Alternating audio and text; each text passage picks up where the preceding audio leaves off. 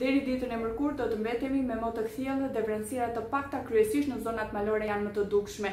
E mërkura dhe e enjtja na sjellin prezencën e vranësirave dhe rrebeshjeve afatshkurtra të shiut në skajin verior, ndërsa pjesa tjetër e Republikës së Shqipërisë do të vijojë me mot të kthjellët.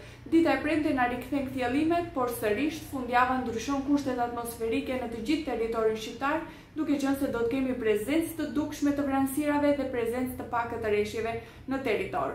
Për sa i përket temperaturave të ajrit, gjatë kësaj jave vlerat termike minimale do të luhaten nga nëntë, dhjetë gradë Celsius në zonat malore, ndërsa maksimumi parashikohet rreth vlerës tridhjetë e një, tridhjetë e dy gradë Celsius.